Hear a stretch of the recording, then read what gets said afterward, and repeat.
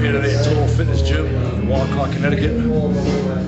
Uh, for photo shoot with John, BBPics.com, magazines, uh, covers and books. I want to thank Dave Fitzpatrick personally allowing me to use the gym for the shoot. I have about one week to go for my first show of the year, uh, 2012. So um, it should be a good shoot.